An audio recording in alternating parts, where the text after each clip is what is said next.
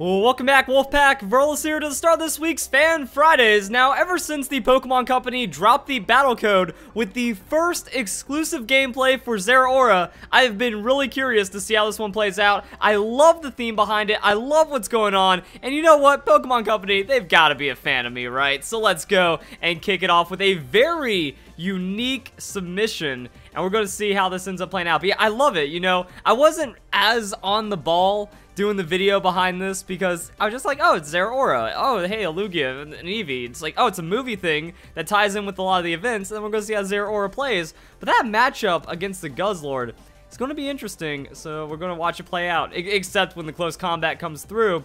Not gonna, yeah, that's safe. That was enough to one-shot. I'm already scared of this thing. Not gonna be enough to one-hit KO. The Guzzlord takes those hits, and then Earthquake. Oh, the air balloon. I mean, I probably scripted battle, just show off the Zeraora. Probably a very scripted battle, but we're going to see where this one goes. Oh, wow, though. The close combat going to get baited by that Ghost-type Pokemon on the Blacephalon, and that's a switch out. Not going to go for the Plasma Fist for that one-shot. And into the Lugia. All right, we got a little, little bit of an interesting thing going on right here. Flame Charge Blacephalon. Is that the meta, guys? Are we learning new strats right now? that could get a little intense. And then that's going to be a Shadow Ball onto Lugia. Super effective hit. The multi-scale has been broken. The outspeed is happening, but that was probably already happening before the Flame Charge. And then an Aeroblast from the Lugia. Big damage, not enough to KO. And that's going to be a switch from Lugia, so just get a little bit of trade damage as now we go into the Eevee. Oh, this I was about to say, oh, the sacrificial lamb, but nah, that's going to be a Shadow Ball. And then if Eevee can tank this one out, things might be okay. Flame charge. Is, is that it? Where, where's the uh, mind blown, man? Oh, this game's over, guys. That's going to be a GG. Never mind, the flame charge, though. But then Eevee's to have the stats. This is, this is going to be an interesting battle, see how it plays out. So, Extreme Evo Boost going to give us plus two. And the first thing I saw when I saw the uh, entire battle thing play out, like, I wonder what Eevee's item is, because not leading it, you know, doesn't really show Extreme Evo Boost as much, but it kind of has to have it, so I wonder if this is going to... Oh, okay, guys. Pokemon Company's dropping some mad hints right now. Evo Boost? Evolution? For the movie promotion? Whoa, Flying type Eevee confirmed right now but gaining just tons of stats on, on that Eevee. And then going into the Zeraora sounds like one of the most terrifying things that could ever be done. Flame Charge, that's not going to be enough to KO. Blacephalon really dropping the ball right now. That You need to Mind Blown to take it out. And that's going to go into the Zeraora. And it's, it's just going to show the sweep. Hey guys, you want this really cool event Pokemon? All you have to do is slap an air balloon on it, have your opponent whiff an earthquake, and then you too can win. Going for just the insane speed with this Blacephalon. Air balloon's going to pop off of that, but the Thunder Punch. All right, learning a little bit about the move set right there. Uh, Thunder Punch, Plasma Fists, I'm guessing, and then we also have the Close Combat. So Aura looking to have something? But no, Celesteela. It's to be fine, and oh, oh, I see what they did there. They're trying to show that even with the berry, this Plasma Fist is going to wreck the Celest... Wow, never mind. Okay. I...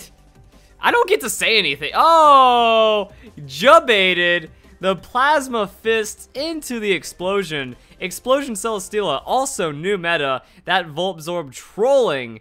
And that's going to be Celesteela giving itself up right there. Now that brings us to the Guzzlord. So Guzzlord already just took massive damage off of that close combat. Plasma Fist once again. You know what? Why not? Why not just show it off? Because it's cool. You know, Zeraora is a, pretty awesome Pokemon. And that's going to be it. You know, it captures lightning and it charges up electricity and then it uses it to fly and stuff. So that's going to be the sweep right there. The 3-0 from Zeraora. Unstoppable with that Extreme Evo boost. But I am surprised. Like, I was expecting that uh, raw Plasma Fist, so plus zero Plasma Fist would just one-shot a, a Celesteela like that, and then also having the plus two into the, or not the Confusion Berry, the uh, Effective Berry, that would also be something interesting. But now, so, like, the survival ranges were also really interesting. And there is one other thing I want to do. So I did a battle yesterday, just kind of like mock battling this stuff out. But, but I think I want to do this. Well, not I think I want to do this. I want to do this again just to kind of see what the Zeraora has. I, am pretty sure we already confirmed it is an event Lugia. I don't know if that's going to be a new event Eevee. Like, the Eevee there is just kind of more for the movie than what I believe to be an event Pokemon, but an Extreme Evo Boost Eevee would make sense. I don't see anything special about Lisa's Eevee, though, that would kind of make it matter for an event. Like, it's just an Eevee, and you can get Eevee all over the place, and you know, there's tons of 5s and 6 EVs, EVs out there, so having the event, unless it gets a crazy exclusive move, well, then that's dangerous, because then you evolve that Eevee instead, and things are going to happen. So let's go into the Ditto. And actually, baiting... Yo, yo, Ditto might be like the best counter to Zeraora on that bait when you think about it. Volt Absorb into its own electricity. That's going to be pretty strong right there. Ditto coming in with that imposter, and now we got a Zeraora. Now we, yeah, I'm first ever legitimate usage of Zeraora, guys. We're doing it, boys. And what do we got? So we got Plasma Fist, Thunder Punch, Close Combat, and Thunder. Yeah, not the most like what I would expect to be competitive. I'm get, I'm wondering if that's going to be the event. And unfortunately, if you go with a summary, you, you don't get to see your changed stats on the Ditto. So we don't really have a Zeraora to play with, but that's something right there. And I also wanted to run some damage calculations, see how that battle would have gone, or like how Zeraora works. So not necessarily at the um, guide part of making a Zeraora video, but I just kind of, I'm interested in this guy now, because this is, this is something I really didn't expect. I didn't expect the Pokemon Company to do this. This is like one of the coolest things ever. They need to promote movies, they need to promote events, they need to promote games, because now we get to battle against it, and then we get to see how it plays, and if the battles were a bit more competitive, I think, I think they, it's, it's hard, because Ultra Beast, is a theme. I wonder, are Ultra Beasts going to be in the movie then? Is that actually going to be the invasion? Holy crap, guys. This actually, man, now, now I don't know what to do because I'm doing this on Fan Fridays, and now you guys know what I'm going to do for like Saturday or Sunday's video, speculating about the movie plot. Because yeah, why why is the movie team going up against the Ultra Beast team? That's a little that's a little, that's a little interesting right there.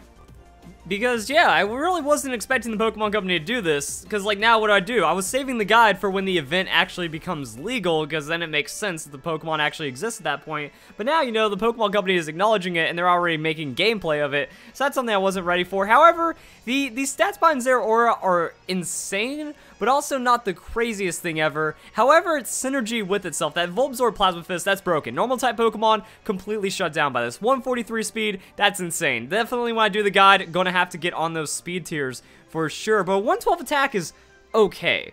And against Celesteela, I guess I didn't know what to expect. Relax, with not even max amount of defenses, that's not even going to be enough to KO, so still, still a 2-hit KO right there. Celesteela rocks the Earthquake, so how strong is that return Earthquake, though? So return Earthquake. So trading like a 2-hit KO. However, if you are going... Okay, let's let's mix this one up. What happens? We got 252. 252 on that. You know, just bulk offensive. Actually, Earthquake's not going to be enough to take it out. So Zeraora has enough initial, like, it doesn't even have that much residual tankiness, but the 88 on the hit points is going to be better than the average Pokemon. No, like 70, 70, 75, 75. That 88 is actually making a pretty big difference. And then if it had 70 hit points, that actually puts it into a KO range. Uh, Tapu Koko.